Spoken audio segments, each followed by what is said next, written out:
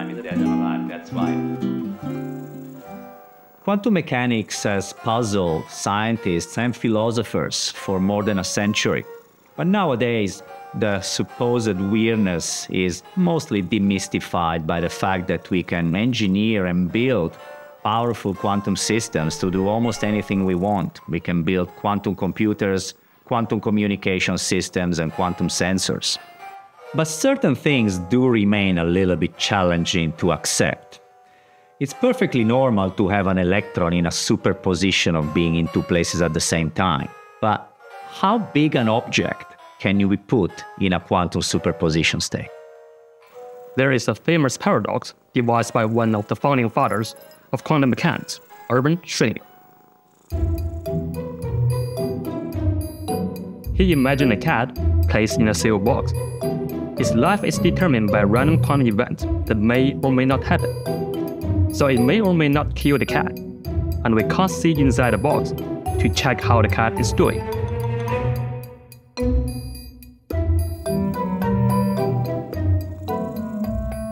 So, is the cat near quantum superposition of being both dead and alive?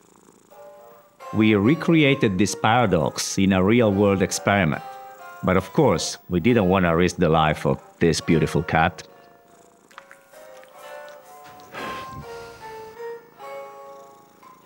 So instead, we made a Schrödinger cat out of the nucleus of an atom of antimony.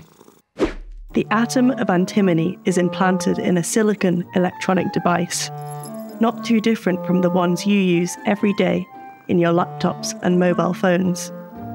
This device allows us to control and read out the quantum state of the nucleus of the atom. It's like having an atomic scale cat trapped in a silicon box and we have all the tools needed to manipulate its life or death. I know what you're thinking. An atom is much smaller than an actual cat. And you're right. But it turns out that the antimony atom is just big enough to show all the striking properties of quantum superpositions of macroscopically different states.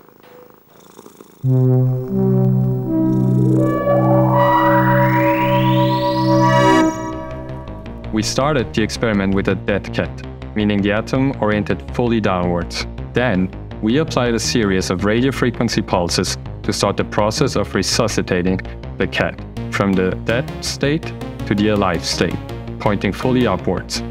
We carefully calibrated the pulses to make the process only go halfway to have an atomic cat in superposition, dead and alive. This may already seem strange enough, but then we did something even more bizarre and more unique. Starting with the dead cat again, we turn it on its side. Then we twist it across its back. The twisting action results in a half-dead, half-alive cat turned on its side. And then we turn it one more time and arrive again at the superposition of the atomic cat being dead and alive.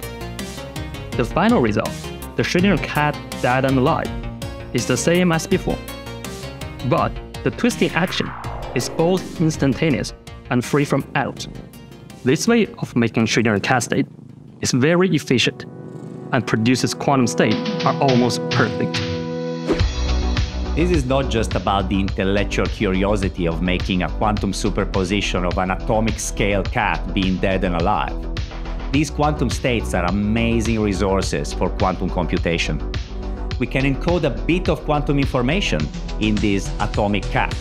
Zero is dead, one is alive, and we've shown we can do superpositions of dead and alive, superposition of zero and one. The important point is that this superposition is macroscopic. There is a lot of space between the zero and the one, and that space can be used to detect and correct the errors that can happen during a quantum computation performing efficient quantum error correction is the most important thing to build powerful, useful quantum computers.